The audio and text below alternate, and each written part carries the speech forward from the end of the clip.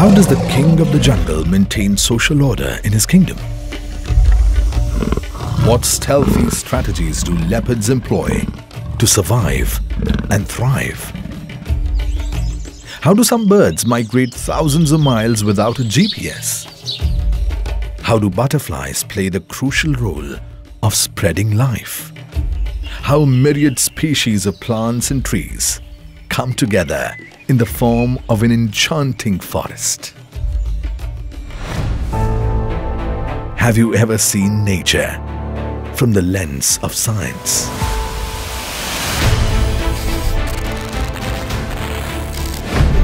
At Gir Forest, we do it every day. And beyond a mere curiosity, there's a profound purpose, a commitment to the conservation of Gir Forest and its ecosystem. Here, amidst the vibrant tapestry of nature, 674 Asiatic lions, more than 800 leopards, and a staggering 338 species of birds coexist harmoniously. Butterflies grace the air, reptiles roam the land, and more than 41 species of mammals find their home in this majestic kingdom that spans across 11 districts of Saurashtra. The Forest Department is making this vast ecosystem more secure by emphasizing on various technology-driven aspects like monitoring, tracking, artificial intelligence, machine learning and data analysis.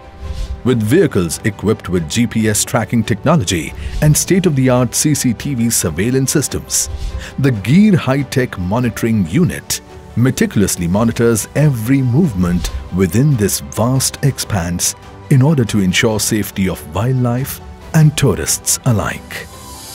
With ever-evolving on-ground situations, challenges like human-wildlife conflict, rescue efforts and tracking cases, histories emerge. Several science-driven technologies have been ushered in, including radio telemetry studies on avian and carnivore species, camera trapping, scat analysis, GPS tracking of safari vehicles, Simba, microchip database, GIS system, vegetation mapping, and other methods regularly used to comprehend better and monitor various components of landscape ecology. As a part of carnivore radio telemetry initiatives, radio collars are strategically employed on Asiatic lions and Indian leopards. These collars go beyond revealing lesser-known details about habitat use, dispersal and daily movement, providing park managers with real-time data for enhanced conservation and management efforts.